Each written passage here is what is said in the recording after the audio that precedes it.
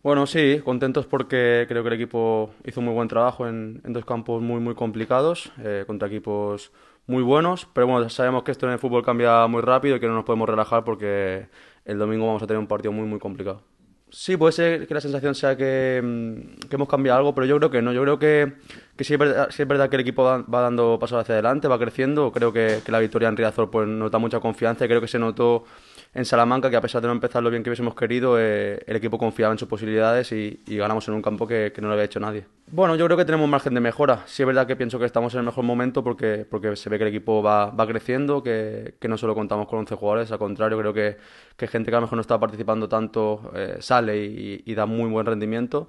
Entonces creo que estamos en el mejor momento, pero que siempre se puede mejorar y tenemos que corregir los errores que tengamos y, y potenciar las virtudes. Bueno, la verdad que los primeros 10 minutos fueron para ellos, hay, hay que decirlo. Eh, nosotros no entramos lo bien que, que hubiésemos querido y, y, bueno, pero también creo que, que hay que valorar que, que, a partir de ahí, de, de los primeros 10-15 minutos, el equipo se rehizo eh, y, y, empezó a dominar un poquito más el partido, sobre todo en la segunda parte.